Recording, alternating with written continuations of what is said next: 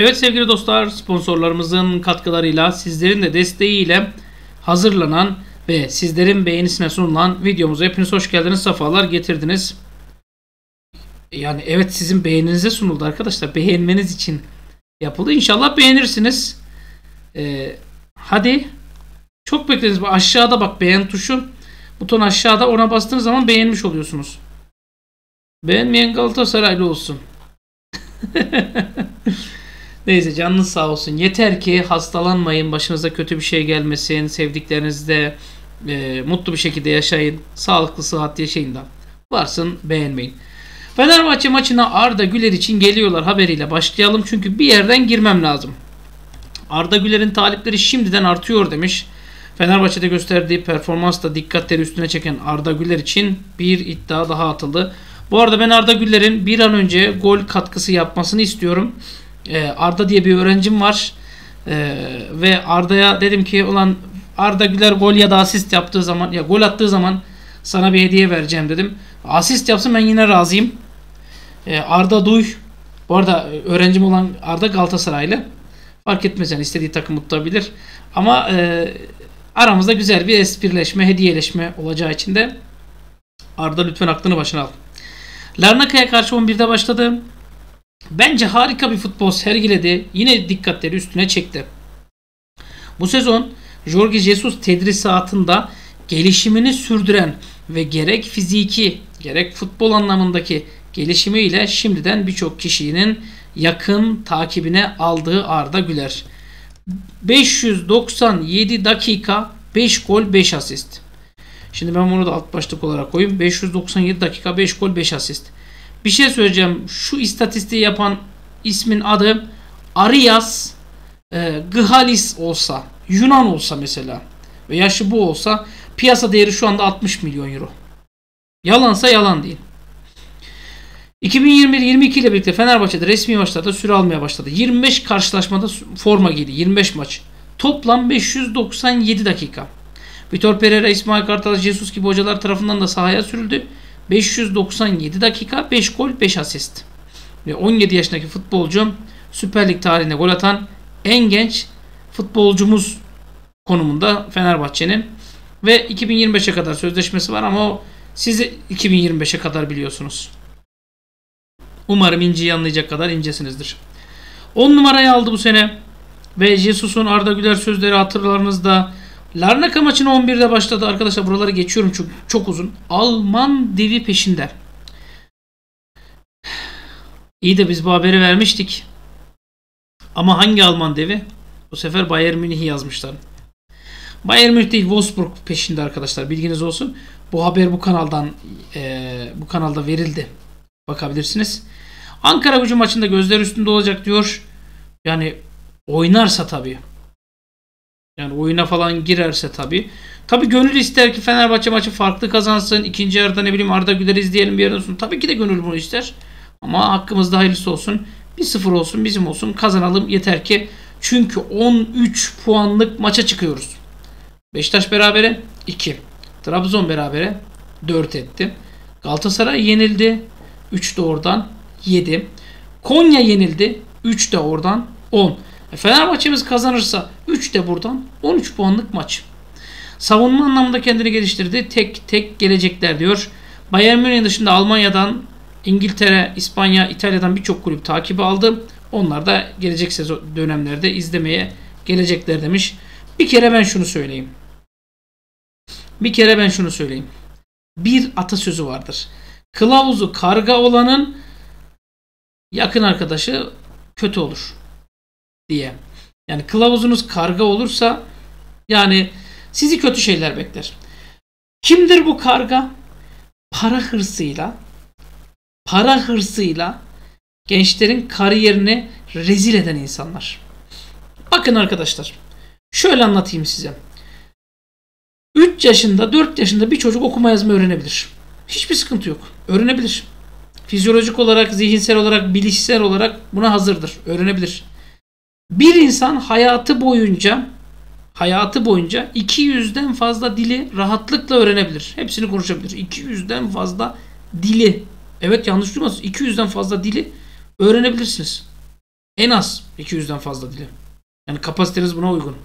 Hocam biz İngilizce öğrenemiyoruz ya bırak ne 200'ü. Doğru sistemde bir şeyler olursa neden olmasın.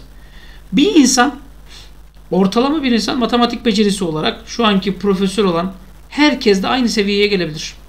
Hocam benim kafam basmıyor matematiğe nasıl gelecek? Bunlar gerçekler arkadaşlar. Bunlar gerçekler. Ama 3 yaşında okuma yazmayı öğretirseniz siz çocuğa ilkokula başladığı zaman kendini arkadaşlarından soyutlayacaktır ve psikolojik olarak sıkıntı yaşayacaktır. Ve bu sıkıntı ömrünün her alanında gerçekleşecektir. Anneler, babalar, anne adayları, baba adayları benden size naçizane bir tavsiye, bir ilkokul öğretmeni olarak tavsiye. Çocuklarınıza matematiksel işlemleri öğretin. Okula başlamadan İngilizce öğretin. Dil öğretin. Hani e, birçok kişi mesela çeşitli yerlere gönderiyor. işte egzersizlere gönderiyor, Kur'an kurslarına gönderiyor falan filan. Gönderebildiğiniz yere kadar gönderebilirsiniz. Sıkıntı değil. Sıkmadan, çocuğun çocuk olduğunu unutmadan, çocuğa çocukluğunu yaşatarak.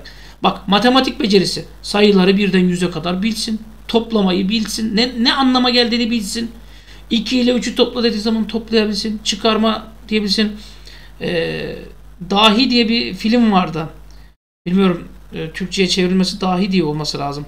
Bir kız çocuğunun, matematik dahisi bir kız çocuğunun hayat hikayesini alan. İzlemenizi tavsiye ederim. Müthiş bir filmdir. E, böyle eğitsel birçok film var arkadaşlar. Sizlere önerebileceğim ama zamanı değil. Bunu yapabilirsiniz. Ama dediğim gibi çocuğa matematik öğretip gönderirseniz faydasını olur. İngilizce öğretip gönderirseniz faydasını olur. Gelişimler, yani beyin loblarının gelişimleri olur. Ama siz çocuğa okuma yazmayı öğretip hadi ilkokul birinci sınıfa başla derseniz çocuk sıkılır. İşte aynen böyle. Kılavuzu karga olan genç futbolculara diyor ki o kargalar ya sen her şeyi öğrendin ya. Ya sen Almanya'da da oynarsın. Senin inanıyorum temiz bir kalbin var. İnanırsan bunu başarabilirsin diyor. Gönderiyor Almanya'ya. Sonra ne oluyor? Ömer Faruk Beyaz bilmem ne takımının bilmem ne kaçıncı alt ligindeki takımına kiralandı. Kaç dakika oynadı? Fenerbahçe taraftarı Ömer Faruk Beyaz'a kızıyor ki haklılar. Ya senin evine Emre Belezoğlu gelmiş. Ali Koç gelmiş. Ya Ali Koç'tan Emre Belezoğlu kapı çalacak benim evime gelecek. Bana diyecekler ki Mustafa Hoca şunu yap yapma. Direkt kabul ediyorum. Ne diyorlarsa direkt kabul ediyorum. Direkt kabul ediyorum. Ama 17 yaşındaki çocuk kabul etmiyor bunu. Niye? Çünkü kargalar. Hocam kargalar derken Beşiktaşlı mı? Ya arkadaşlar her şeyin altında bir mana aramayın.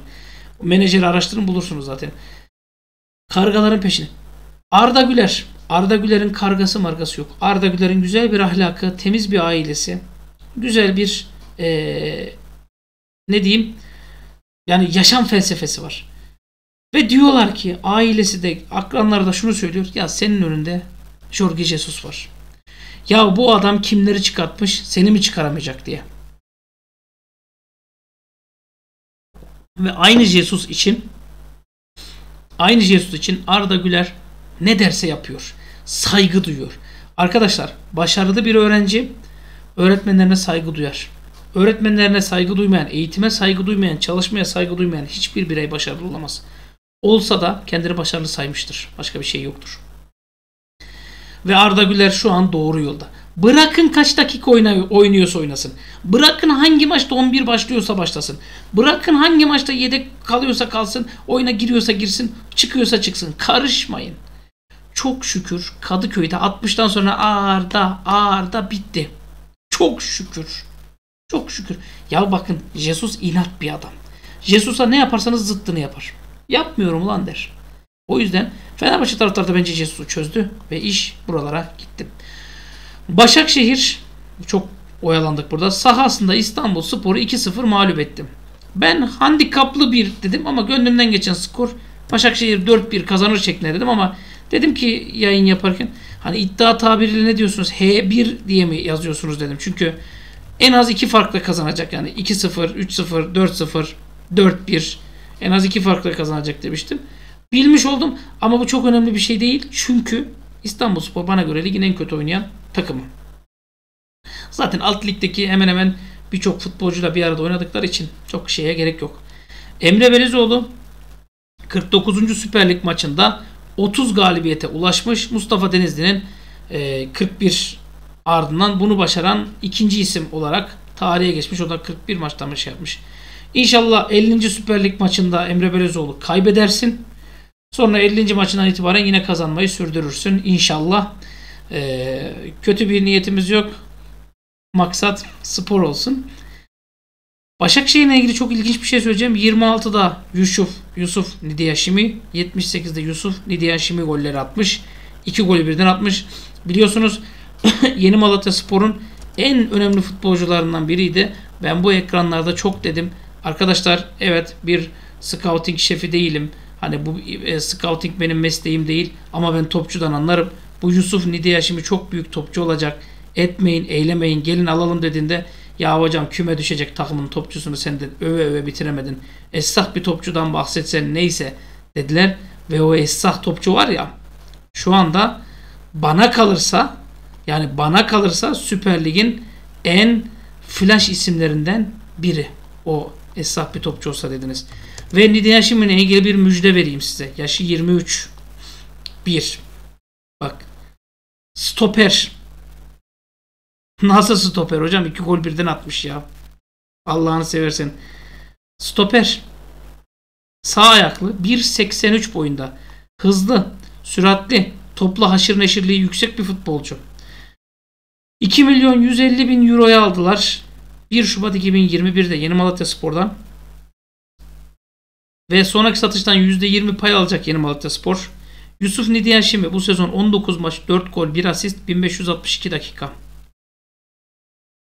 Yani hocam bir enteresanlık yok mu? Ee, yani bu adam nasıl goller atabiliyor bu kadar? Hani nerede oynuyor? Forvet mi oynatıyor? Yok stoper oynatıyorlar. Leo Duarte ile birlikte. Ama hızlı bir isim. Ee, yetenekli bir isim. Ve bu isim Fenerbahçe maçında yok. Sarı kart cezalısı. Aa. Aa. Sarı kart cezasından dolayı bizim maçta yok arkadaşlar. Ben buna çok üzüldüm ya. Maçın kaderini etkileyebilecek bir eksiklik. Yani Fenerbahçe adına tabii ki de seviniyor ama insan Türk futbolu adına, adına yalan da söyleyemiyorum ya. Yani insan Türk futbolu yani ne diyebiliriz ki geçmiş olsun dileyelim. İnşallah Fenerbahçe Başakşehir'i yener. Fenerbahçe yendikten sonra Başakşehir gitsin arka arkaya maçlar kazansın canım. Biz Başakşehir'e karşı kötü bir şey demiyoruz ama e, durum bu. Müjdenin biri bu arkadaşlar. İkinci müjde Kayseri Spor'da Galatasaray maçında jeneriklik bir gole imza atan Onur Bulut'un Galatasaray maçındaki istatistikleri geldi önüme. İyi de hocam bize ne Galatasaray'dan, bize ne Onur Bulut'tan, bize ne istatistikten. İki isabetli şut ve bunlardan biri gol. %80 pas başarısı. Bu arada Yusuf Nidiyashimi niye 4 milyon euro falan diye hiç konuştuğumu düşündünüz mü acaba? Aklınıza hiç getirdiniz mi ya? Harbi söylüyorum. Hadi size bir felsefe yapalım. Yani sizle bir felsefe yapalım. Mesela Gustavo Henrique'nin yerine Nidiyashimi'yi alsaydık sevinir miydin? Hocam hiç karıştırma bak yeni yeni ısındık. Tamam şöyle söyleyeyim 20 milyon euroya Atilla Salah'ı satsak 7 milyon euroya Nidiyashimi'yi alsak memnun olur musunuz? Ya da Lemos artı 3 milyon euroya Nidiyashimi'yi alsak sevinir misiniz? Onu da bir düşünün. Onur Bulut. Bizim şu anki konumuz Onur Bulut. Onur Bulut 2 isabetli şut, 1 gol, %80 pas başarısı, 6'da 5 ikili mücadele kazanma, 4 top çalma, 5 atak uzaklaştırma, 2 engellenen şut girişimi. Onur Bulut'la ilgili size çok ilginç bir şey söyleyeceğim arkadaşlar. Fenerbahçe'nin kapısından mı döndü hocam? 28 yaşında. 1.79 boyunda sağ bek. 2 milyon 800 bin euro piyasa değeri var. Sözleşmesi yazın bitecek. Almanya e, menşeili diyelim. Ve A takım seviyesinde Türk milli takımını seçtiği için de Türk arkadaşlar bilginiz olsun. Sonra bazı arkadaşlar anlamıyorlar. Biz bu Onur Bulut'u 2019'da Temmuz döneminde alacaktık. O zaman 400 bin euro değeri vardı. Ancak Alanya Spor aldı. Alanya Spor alıp bir müddet oynattıktan sonra 5 Ekim 2020 tarihinde Çaykur Rizespor'a kiraladı. Yarım dönem kiralık oynadı geri geldi. Sonra Alanya Spor hoşuna gitmedi futbolcunun. Dedi ki biz bunu gönderelim. Futbolcuyu gönderdiler. Kayseri Spor ücretsiz bir şekilde ve küllerinden doğmuş oldu. 10 maçta 2 gol, 1 asist, 900 dakika kesintisiz oynadı. Şimdi ben size bir şey söyleyeceğim. Nazım Sangare'yi alıp şey Nazım Sangare'yi verip Onur Bulut gelse memnun olur musunuz? Bir öneri sadece. Bence taraftar hayran kalır. Harbi söylüyorum bak. Ama diyeceksiniz ki hocam bu Ferdi'yi kesemez. O sayıyı kesemez. o zaman biz de o sayıyı satarız. Neyse. İshak Vural. Gündeme bomba gibi düşen isim İshak Vural. İshak Vural'ı çok sordular. Ya hocam dediler İshak Vural ee, yani İshak Vural ne oldu? Nerede? Ben size süreci anlattım. Yani gelişiminden yana bir sıkıntısı vardı. Ondan bahsettim. Jesus üstüne düşüyor dedim. Ya bir, bir buçuk ay olmuştur. Sonrasında İshak Vural nerede dediniz arkadaşlar? İdmanlara katılıyor dedim. İyi de niye U19'da maça çıkmıyor dediniz. Dedim ki bazı hani o gelişimsel sıkıntısını gidermek için güçlendiriliyor dedim. Ve aynı İshak Vural A takımda idmanlarını sürdürüyor. Ee, yani İshak Vural'ın boyunun anormal derecede uzamasından dolayı bir ağrı olayı diye Ahmet Ercanlar falan sağ olsunlar sosyal medyaya yaydılar. Yani birçok kişinin bilmediği meseleyi artık herkes biliyor. Arkadaşlar anormal derecede yani boyunun uzama olayı oldu. Yani gelişimsel olarak şöyle anlatayım. Atıyorum kafadan 14 yaşında olması gereken şey 16 yaşında oldu. Yok 60, 60 olmuyorum ya. Resmen açıklamış oluyorum. Yani 14 yaşında 15 yaşında olması gereken şey 16-16,5 yaşında olunca hayretle karşılandı ve ee, en son nereye kadar şey olacak diye veriler tutuldu. Şu an bir sıkıntısı yok İshak'ın. Zaten ortalama futbolcu boyu 1.80-85 civarında. Benim gibi futbolcular da futbolcu olamıyor 1.70 diye. Ama herhangi bir sıkıntısı yok. E, futbolunu engelleyecek, futbolu bıraktıracak bir sıkıntısı yok merakınız olmasın. Buruma takımla çalışmalarını sürdürüyormuş. Lemos da sürdürüyor arkadaşlar. Herhangi bir şey yok burada. Yani Buruma'nın Lemos'un e, takımla sürdürmesine herhangi bir abesiyet yok. Ya hocam sakatlar makatlar ya futbolcuyu. Arkadaşlar sen futbolcuya mesaj veriyorsun. Yani bizde öyle bedavadan ekmek yok diyorsun. Kıran kırana. Kendini burada göster. Düşünün az takım yani A takımdaki futbolcu da yedeği de hepsi diyor ki ulan diyor bak ben kendime çeki düzen vermezsem bu herif gelir benden formayı alır diyor. Daha ne istiyorsunuz? Son olarak da çok penaltı atıyor denilen Fenerbahçe. Attığı 25 golün %20'sini yani 5'ini penaltıdan atmış. Ancak bakın istatistiksel olarak oransal olarak 25 golün %20'si penaltıdan. 5 gol. Ancak yediği 10 golün ise %30'u yani 3 tanesi penaltıdan. Ulaş abi sağ olsun paylaşmış bunu. Çok ilginç değil mi ya? Attığın golün %25'i penaltıdan iken yediğin golün %30'u penaltıdan. Türkiye'de her şeyi kağıt üstünde gösterip bak kollama var. Bak şike var. Bak şu var. Bak bu var yapıyorlar. Al. Al sana bir kaya. Nerene dayarsan daya demiş. Alın size kaya arkadaşlar. Dayıyor musunuz? Yaslanıyor musunuz? Ne yapıyorsanız yapın. Ya çok pozisyona girersen çok gol atarsın. Çok pozisyona girersen hücum aksiyonların çok olur. Çok pozisyona girersen çok penaltı yakalayabilirsin. Çok pozisyona girersen ceza sahası dışından çok frikik yakalarsın. Ben size bir şey söyleyeyim. Fenerbahçe Ankara gücünü 7-1 yenecek desem. Bakın 17 Ekim 2022 tarihinde diyorum ki Fenerbahçe Ankara gücünü deplasmanda 7-1 yenecek. Bana çıkıp diyebilir misiniz now now diye. Diyemezsiniz. Enteresan bir şey söyleyeyim. Arkadaşlar yerde yarılsa uzaylı da inse gökten penguenler de uçarak gelse sahanın ortasına gelseler Fenerbahçe Ankara gücünü 1-0 yenecek desem bu daha tuhaf gelir size. Hocam penguenleri niye karıştırdın ya? Sen 1-0 dedin biz zaten inanmıyoruz ki. Fenerbahçe'nin maçı 1-0 bitemez hocam. Öyle bir şey yok. Başka bir şey söyleyeyim. Fenerbahçe'nin bu sezon Süper Lig'de iki tane maçı gol atamadan bitti. İkisinde de hakemler Fenerbahçe gol atmasın diye yemin etmiş gibi maç yönetti. Birisi Konya maçı 20. dakika Valencia gelerek gel. Al sana kırmızı kart çık. Ne oluyor? Yok. İkincisi Beşiktaş maçı. Beşiktaş çocuğu vur ölmedi lan ölmedi devam et. Sarı marı yok. Devam et devam et. Kayıyor adam ayağına vuruyor basıyor. Devam et devam et bir şey yok. Bir şey yok. İtiraza geliyorlar. Devam et devam et bir şey yok. Şşt. Penaltı var. Devam et lan. Ne penaltısı? Penaltı neymiş? Çok abes bir şey. Penaltı bir daha duyma bak öyle şeyler. Öyle, bak bir daha öyle küfürlü şeyleri duymam ki canınızı yakalmıyor. Penal, penaltı ne ya? Ya o penaltı ne? Pen, penin üstü vardı altı mı var ya? Falan yapıyorlardı. Bakın siz de farkındasınız. Siz de farkındasınız. Fenerbahçe 1-0 kazanacak dediğim zaman daha enteresan geliyorsa 7-1 kazanacak lafı daha olası geliyorsa o iş orada bitmiştir. Hani arife tarif gerekmez o hesabı.